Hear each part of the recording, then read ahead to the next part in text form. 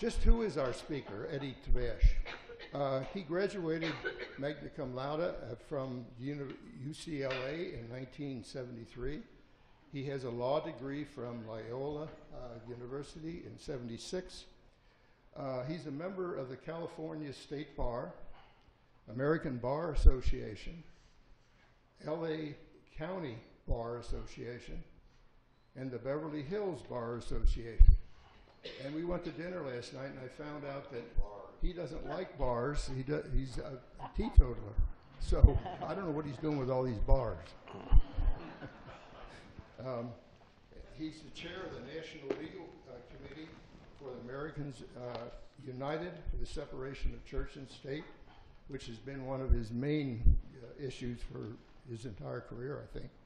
Filed many briefs before uh, various courts, including the Supreme Court, for causes that we support, of course, and that the main one that we're harping on right now is the separation of church and state. And you'll find out that uh, we may be swimming upstream here. Uh, he promotes atheism and secular humanism.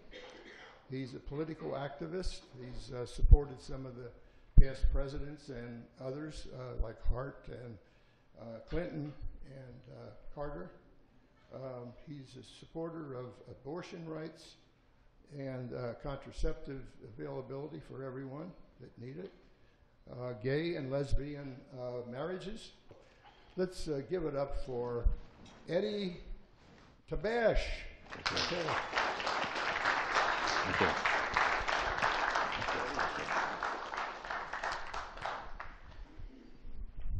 Good morning, everybody. I haven't been here in seven years. It's good to see my old friends here in Tucson.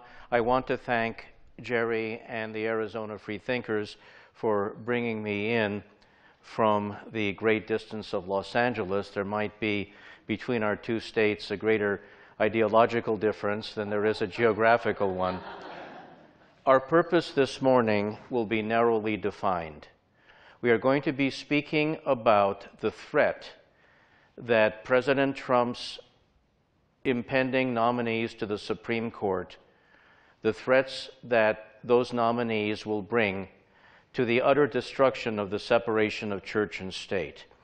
But before I get into the contemporary threat, I want to take you with your handout through the remarkable history where we can demonstrate that the framers of the First Amendment actually intended for believers to be equal before uh, the law with non believers, and the framers explicitly intended for the protection of the rights of conscience of everyone, which means that it was their goal to make sure that government could not favor religious believers over atheists or over minority religions. When the 55 authors of the original Constitution gathered in the summer of 1787 in Philadelphia to craft the original Constitution, they were requested to pray when they hit roadblocks in their deliberations. They refused to do so. There's only one reference to religion in the original Constitution. Article 6, Clause 3 prohibits any religious test for political office, so that was a negative reference to religion for the first time in world history in a nation's founding document. A future Supreme Court Justice, James Iredell, in debating this prohibition, said that we must allow pagans and those who have no religion at all to be elected to office.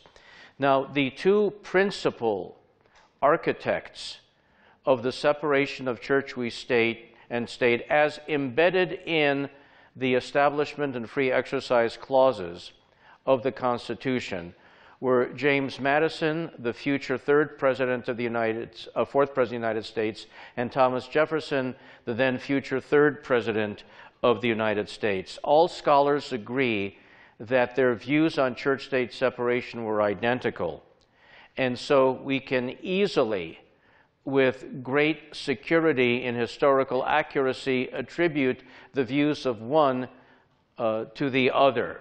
Thomas Jefferson was the major influence on James Madison in terms of church state separation.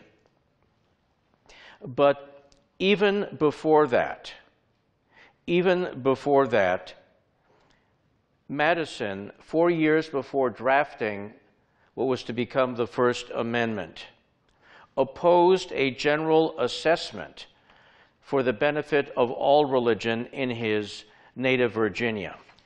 And so to say that the principal architect of the First Amendment intended the religion clauses to favor religion or to favor Christianity is refuted by our historical record. This is what James Madison wrote four years before drafting the initial form of the First Amendment. During almost 15 centuries has the legal establishment of Christianity been on trial. What has been its fruits? More or less in all places, pride and indolence in the clergy, ignorance and servility in the laity, in both superstition, bigotry, and persecution.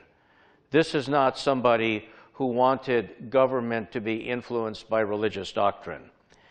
And then in 1786, when Jefferson was in Paris, Madison secured the passage through the Virginia legislature of his and Jefferson's Virginia Statute for Religious Freedom, which shielded minority viewpoints on religion against the tyranny of the majority, protecting both non believers and religious dissenters. And proof of this was many years later, in 1821, when Jefferson wrote his autobiography. He talked about how happy he was that the effort to protect only Christians was defeated. And Jefferson wrote he was delighted that the bill that he and Madison got through the legislature protected the infidel of every denomination. If Jefferson and Madison were interested in protecting infidels, they certainly did not craft and they did not, through Madison's pen, craft a constitution that was going to allow government to favor belief over non belief.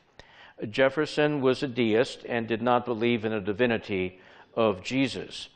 In a letter to William Short in 1819, Jefferson stated that among the claims about Jesus that he rejected were making him a God, immaculate conception, miraculous powers, resurrection, visible ascension, the Trinity, original sin, and atonement. Toward the end of his life, Jefferson, the retired third president of the United States, writing to John Adams, the retired second president of the United States, said, And the day will come when the mystical generation by Jesus by the Supreme Being as his Father in the womb of a virgin will be classed with the fable of the generation of Minerva in the brain of Jupiter. And then in 1825, Jefferson wrote in a letter that the book of Revelation is merely the ravings of a lunatic, not more worthy or capable of explanation than the incoherence of our own nightly dreams.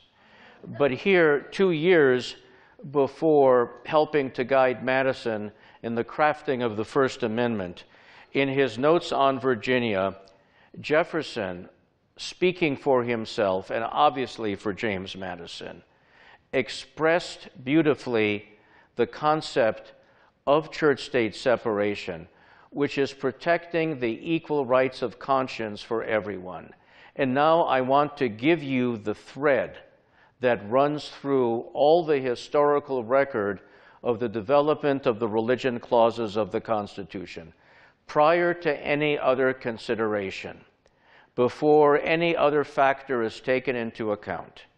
They wanted to protect the rights of conscience of everyone meaning that they wanted to make sure that each individual's composition of their own views on matters of religion regardless of what those views might be, will be left to the individual without any coercion from governmental authority. And if that is the thread, there's no way that they would want government to favor one set of beliefs over other. And Jefferson wrote, the legitimate powers of government extend to such acts only as are injurious to others. But it does me no injury for my neighbor to say there are 20 gods or no God.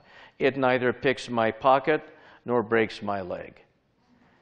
No one to ever sit in the White House other than Jefferson has ever said anything like that. He was very, very far advanced. And also, if we speak about the views that he and Madison held with respect to clergy in government. In a letter 1813 to Alexander von Humboldt, Jefferson wrote, History furnishes no example of a priest ridden people maintaining a free civil government. It marks the lowest grade of ignorance. And then he further wrote that in every country and every age, the priest, meaning all clergy, has been hostile to liberty. Now, Madison, writing in The Federalist in 1788 to urge the new states to ratify the Constitution, said that there shouldn't be any religious test for office, and that office should be open to merit of every description without regard to any particular profession of faith. Then in October of 1788, Madison wrote to Jefferson, saying he was afraid the majority of people would deny infidels the right to hold office and narrow the rights of conscience. This is remarkably the most concrete, solid proof we could have that James Madison specifically intended the First Amendment, of which he was the principal architect, to equally protect us non believers. And it is a remarkable historical record considering how otherwise sparse the record is. When Madison introduced the first form of the First Amendment. It would have prevented government from abridging the civil rights of anyone because of religious belief or worship. He brought to bear everything that we now know he was thinking about protecting the equal rights of everyone. Remember this thread I just gave you the unbroken thread of the rights of conscience. Well, Representative Daniel Carroll, during the House debate on what was to become the First Amendment, said the rights of conscience are in their nature of such peculiar delicacy they won't even be able to bear the gentlest touch of government hand. Once again, leave the individual alone. Now, today's religious right wingers on the courts take the view that government cannot favor one religion over others, but among primarily monotheistic religions, and this is important, government can favor religion collectively against us non believers. I have proof that this is not what the framers intended. Because if that were true, two proposed wordings that were rejected by the Senate on September 3rd of 1789 and were never brought back, one of them would have been adopted. One of them said, No law establishing any religious sect or society in preference to any other, the other, no law establishing any particular denomination or religion in preference to any other. If all the framers meant to do was to say government couldn't favor one religion over another, but could side with religion collectively against non belief, one of these two wordings would have been adopted, and they were both rejected. In the House Conference, House and Senate Conference Committee, the final wording of the Establishment Clause, shepherded through by Madison, was no law respecting an establishment of religion, no law that can even show respect to any establishment of religion. This was what much more sweeping than any of these former proposed wordings, which shows that there was a progressive process of making sure that the non believer is equal and the rights of conscience of everyone will be fully protected. And we can also look to the writings of both of them later on to see what they meant. And we see Jefferson in 1802 with his intimate involvement in helping Madison that the First Amendment erected a wall of separation between church and state. Jefferson, as president, even refused to issue Thanksgiving proclamations because he felt they were religious exercises. Madison even wanted to limit the power of religious entities to accumulate and to hold property. He opposed tax exemptions for property already owned by religious institutions. And then in 1868, we passed the 14th Amendment, which was then later properly interpreted to extend the Bill of Rights to all of the states. One of the reasons why I gave you the handout and we went through this history is to arm all of you with the truth and the facts to defend the separation of church and state, and to unfortunately join in the decades long struggle we will have to undertake if we lose it in order to get it back. The political events of the past year have shaken the foundation of modern secular government to the very core. If the president is able to appoint just one more, let alone more.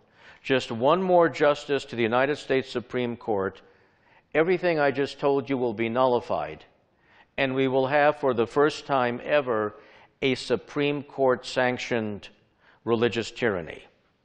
All branches of government will be free to favor belief over non belief.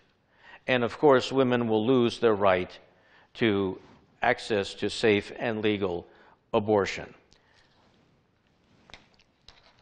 The Supreme Court has already decided in a 5 to 4 decision that businesses that deal with the general public and are not themselves religious in purpose but are owned by religious people can have special exemption from the law that requires employers to provide insurance coverage for contraception. Notice how dangerous this is if only the religious can avoid complying with otherwise universally applicable law, then we have a legal system that allows exemptions for only the religious and no one else, and that in itself violates every concept of government neutrality and separation of church and state, because only the religious are given legal exemptions. Now, for our purposes, the separation of church and state, and I'm quoting from Everson versus Board of Education, 1947. This is what we are trying to hold on to. Neither a state nor the federal government can set up a church. Neither can pass laws which aid one religion, aid all religions, or prefer one religion over another. N- neither can force nor influence a person to go to or remain away from church against their will or force them to profess a belief or disbelief in any religion. No person can be punished for entertaining or professing religious beliefs or disbeliefs, for church attendance or non attendance. No tax in any amount, large or small, can be levied to support any religious activities or institutions whatever they may be called, or whatever form they may adopt to teach or practice religion. Then a reaffirmation in 1961 in Torcaso versus Watkins, neither a state nor the federal government can constitutionally force a person to profess a belief or disbelief in any religion. No branch of government can constitutionally pass laws or impose requirements which aid all religions as against non believers. Neither can government aid those religions based on belief in the existence of God as against those religions founded on different beliefs. So you can see that up until this point, we have had a Supreme Court that recognized the true intent of the framers. But a shift of just one vote on the court, and all of this is destroyed. Justice Scalia has been replaced by Justice Neil Gorsuch, who is as extreme as his predecessor in wanting to repeal the separation of church and state. I've set this up for all of you by giving you this remarkable history to now introduce the chilling dissent of Justice Scalia in 2005 with the admonition that a change of one vote on the Supreme Court and everything I just told you will be nullified, and the chilling, totalitarian, religiously oppressive language I'm about to quote directly from Scalia's dissent will become the law of the land. Scalia dissented when the court forced the schools in Kentucky to take the Ten Commandments off the walls of elementary schools. The principle that government cannot favor religion over irreligion is demonstrably false. He doesn't read history like we just did. This is already a clear example, but look at this. There are now four justices on the Supreme Court that agree with what I'm about to read to you. We cannot afford the fifth and final majority making justice. It is entirely clear from our national history and historical practices that the Establishment Clause permits the disregard of polytheists, believers in unconcerned deities, just as it permits the disregard of devout atheists. What does it mean to, to say the Constitution permits our disregard? How far will that go? Will restaurant owners be able to say, My religion says I can't deal with atheists, I won't sit you at the lunch counter? Remember something like that as part of our history? Another group of people? Will banks be able to say, Sorry, we don't lend to people who don't believe in God? Where does it end? What does it mean to say that the Constitution permits the disregard of not just us, but people who believe in many gods or have a deistic view. It's even worse because one of the justices on the court, Clarence Thomas, has a completely distorted view of the Establishment Clause. He says everything I just told you is wrong, and that the Establishment Clause only exists to get this one prevent the federal government from stopping each state from having their own official religion. According to Clarence Thomas, this means each state can have its own official church and that the federal government cannot interfere. Imagine the civil strife that that would cause. Uh, Neil Gorsuch is worse than Scalia in many respects. And most notably, Scalia, when I met him in 1998, told me that he doesn't believe there's a constitutional right to death with dignity, to abortion. But if the states confer the right, he'll accept it and let the states give those rights. At least with death with dignity, Gorsuch takes the opposite view. He wrote a book 12 years ago in which he argued that even if the states want to allow the terminally ill or those in intractable pain to end their lives with physician assistance, the state can't because the state cannot participate in the taking of innocent life. So Gorsuch goes a step further. Uh, Justice Kennedy, though we lose him on a number of cases, is with us on the core issue of church state separation, which is the equality of believers and non believers. He turns 82 in July and is rumored to be retiring at the end of this term. Given the composition of the Senate today, if Kennedy retires in June, the president will replace him with a religious right winger, giving the court the fifth vote for the first time ever for religious tyranny. Also, if the Senate does not change political leadership in the November elections this year, there will be no stopping any extreme judge or justice from being confirmed. Ruth Bader Ginsburg, a staunch church state separation, turns 85 next month. If Trump replaces her and Kennedy, there is now a six to three majority in favor of abolishing the separation of church and state. Now, over and above the Supreme Court, Trump has given us an attorney general who, in his confirmation hearings before the Senate, when asked if he thinks secular people can know the truth as well as religious people, said that he wasn't sure. And this is why Jeff Sessions also said that President Obama's appointee to the court, Sonia Sotomayor, cannot be trusted to make good decisions because of her lack of belief in a higher power. Quoting the Attorney General of the United States If you have secularization in the world and don't believe in a higher being, maybe you don't believe there is any truth. Um, Betsy DeVos, the Secretary of Education, once compared her work in education reform to a biblical battleground where she wants to advance God's kingdom.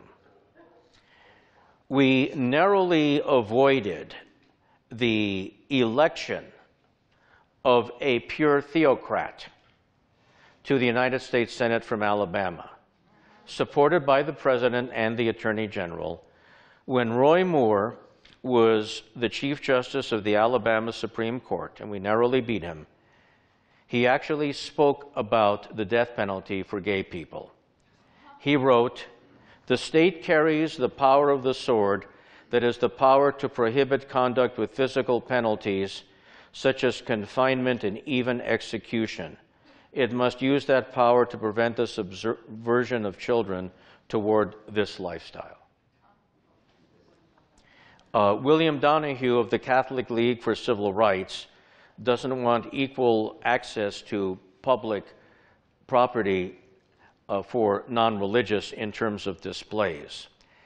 Billy Graham's son, Franklin Graham, who is now a leading religious right wing extremist, has said in speaking of the president, Never in my lifetime have we had a president willing to take such a strong, outspoken stand for the Christian faith.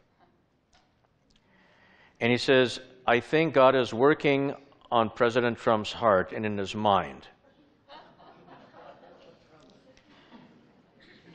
And I think finally, this is Reverend Franklin Graham, will get the right judges. That's what it comes down to. Now, to show you what's happening around the country with the religious right. Florida has a new law making it easier for creationists and climate change deniers to harass their local school district boards if they don't approve of what's being said in the classroom. The Associated Press uh, has reported that there have been a number of complaints by religious fundamentalist parents over the teaching of evolution in that state. Also, there is an effort in Florida to repeal the state constitutional provision that bars public money from aiding religious institutions. Uh, Mississippi is trying to pass a law that would require teachers to post the Ten Commandments in public classrooms. Uh, also, a trial court judge in Texas interfered in a jury's deliberations in a criminal case because he said God told him that he needed to tell the jury how to decide the case.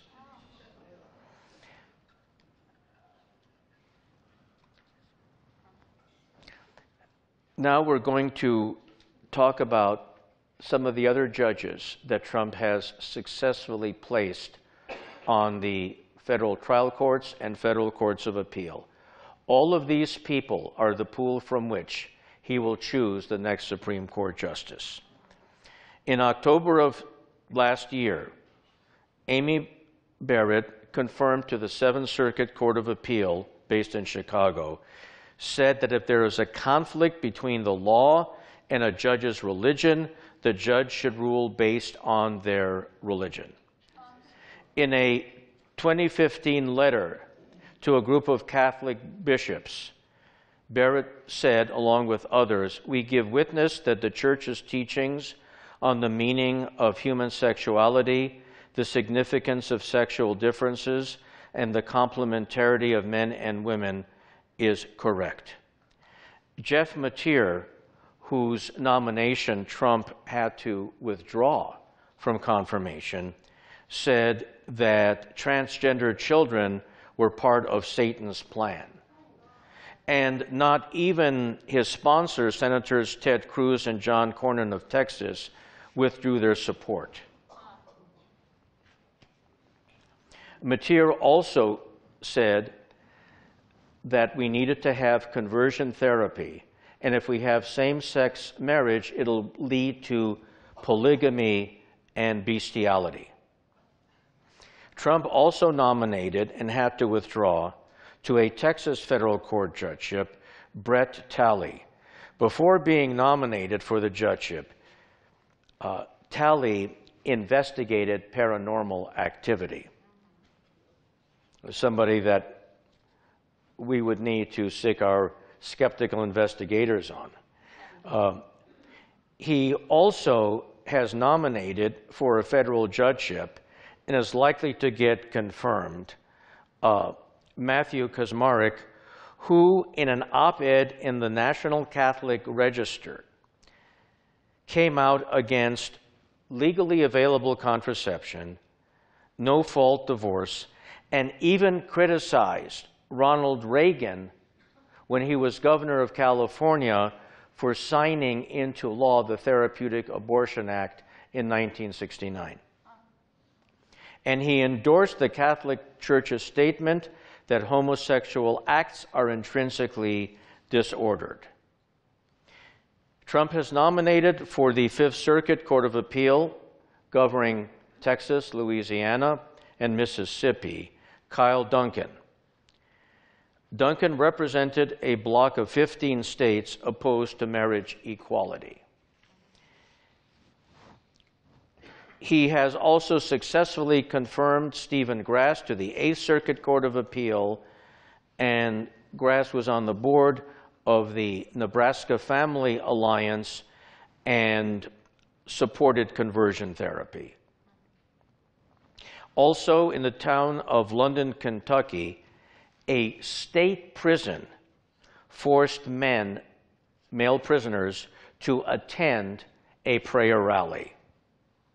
This is a level of coercion the likes of which we have never seen in the United States.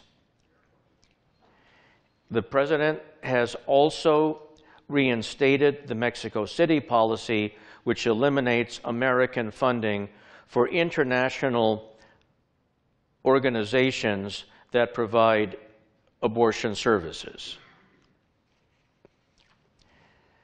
The other thing that we have to deal with are these so called religious freedom laws that, as I mentioned earlier, would allow only the religious to opt out of civil rights laws and give them the only exemption in order to discriminate against people that they claim their religion disfavors. Now, Vice President Pence said in his 2000 congressional campaign that he favors conversion therapy. What conversion therapy is, is it is an effort to use religious psychological deprogramming and coerced therapy to try to force gay people to become heterosexual. This is something that could very easily be legally upheld by a reconstituted Supreme Court.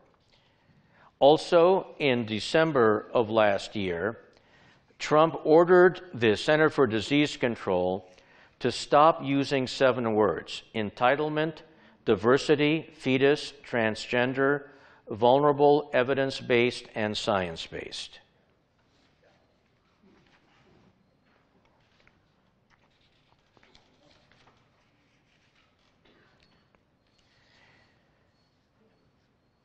The head of a very powerful religious right organization, the Family Research Council, Tony Perkins, admitted a few weeks ago that the religious right will not care whatever Trump does because he will give them the nation through the Supreme Court, and he is right. President Trump has attempted to remove any and all government efforts to curtail global warming. He has ignored the scientific evidence and believes that this is something which is totally, totally unfounded, even though the science is overwhelmingly true. We are facing a crisis that is more ominous than anything we've ever faced before because of a possible shift on the Supreme Court. Here's what we have to do. If there is a vacancy on the court, even if we fail to stop the nominee, we have to try. In this state, you have to reach the two senators and try to get them to vote against that nominee. All presidential elections need to be a referendum on the Supreme Court. U.S. Senate elections need to be a referendum on the United States Supreme Court. If, in fact, we lose church state separation, It'll take at least 50 years to get it back, given the composition of the court. We will then have to have our people, meaning non believers like us, and liberal religionists who favor complete equality for everyone, take over state legislatures. This is a fight that is so grand and so massive. We can't do it just by the standard liberal allies we need to reach out to people that we otherwise don't have much political common ground with in many areas and work with them on this objective of preserving government neutrality in matters of religion. We're going to have to make coalitions with libertarians who don't want government intruding into the bedrooms. We're going to have to make coalition with economic conservatives who otherwise despise the religious right. Because again, we are one vote away from a religious tyranny. It is now the time, well overdue, for people, particularly in states like this, to run for local school boards and town councils. It is the time to recruit church state separationist candidates for the Arizona legislature. Because what the Supreme Court will do will re empower the states to impose religion any which way they want. And since we will no longer have a Supreme Court that protects us, we will have to have a legislature that will not pass these laws in the first place which means we have to undertake campaigns to put our people in legislative bodies in state legislative bodies.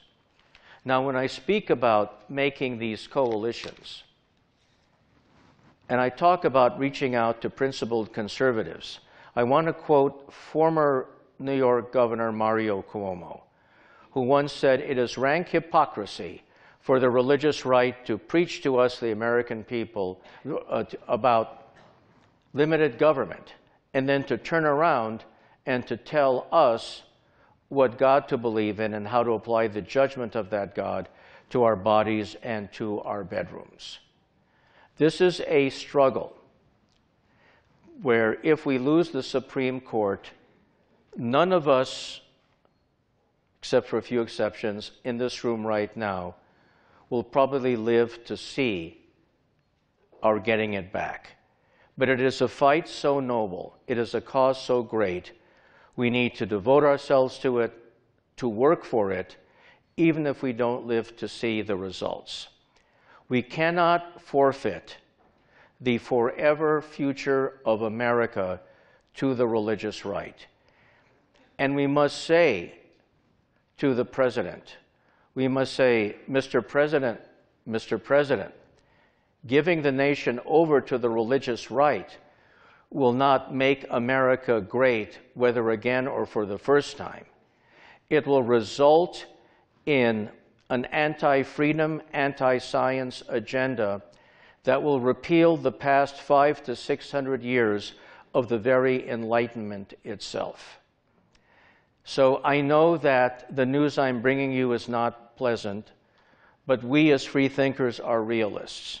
So I ask all of you, join the fight, and let's hope that whether it's now, 50, or 100 years from now, we will forever cement safely and securely in the American fabric of law and politics the separation of church and state. Thank you.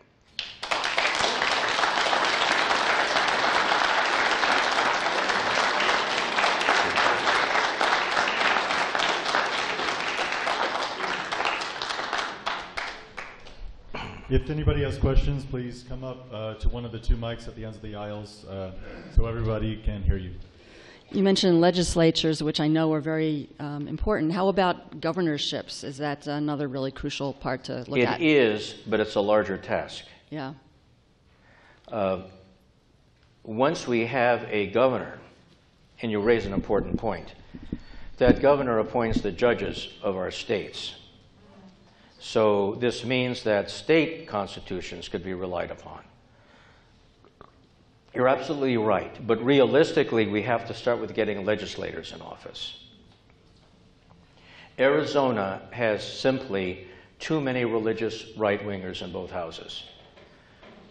The combination of a religious right Supreme Court and the current composition of this legislature would be horrendous.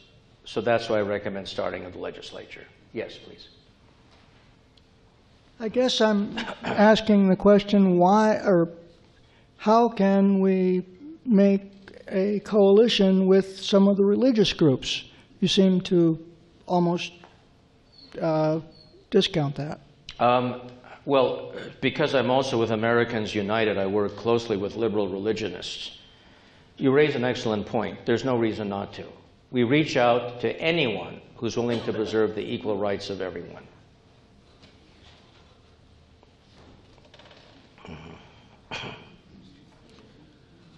Suppose the unthinkable happens and we do have a court that is conservative on just, just about every decision.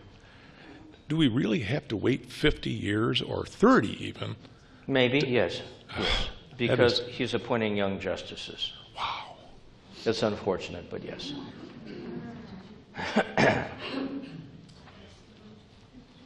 Would you speak to school vouchers? Because it seems to me that's one of the ways they're trying to, Excuse me? school vouchers, which many uh, legislature are trying to provide to get Mm-hmm. We kids lost into- that fight in the Supreme Court. We have to keep fighting at the state level.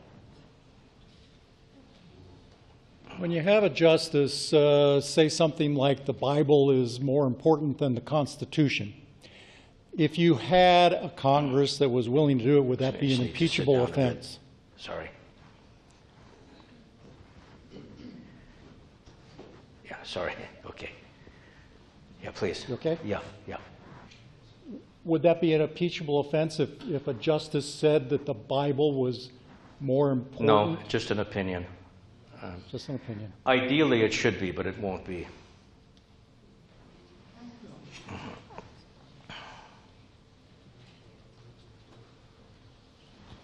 Anyone else? Yeah, just a little.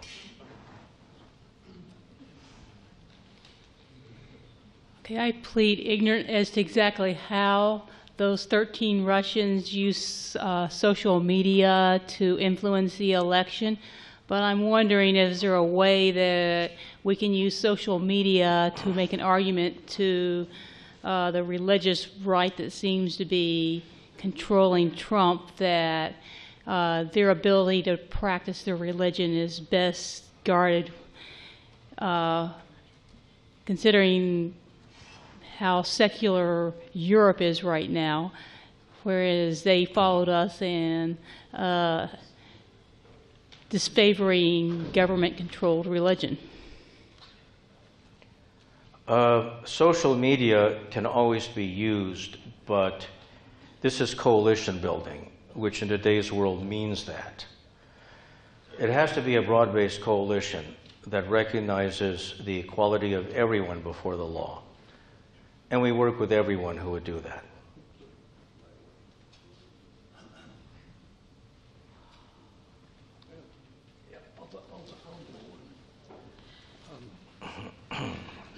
I've always understood that in the past, when appointees were made to the Supreme Court, that they were in for life.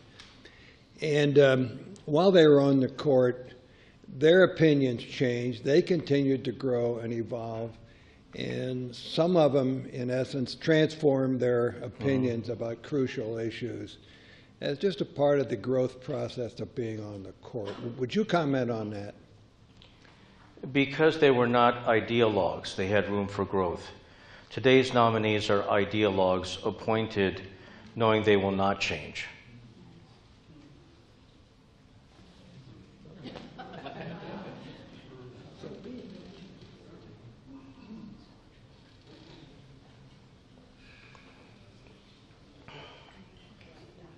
What? A little stomach soft kilter.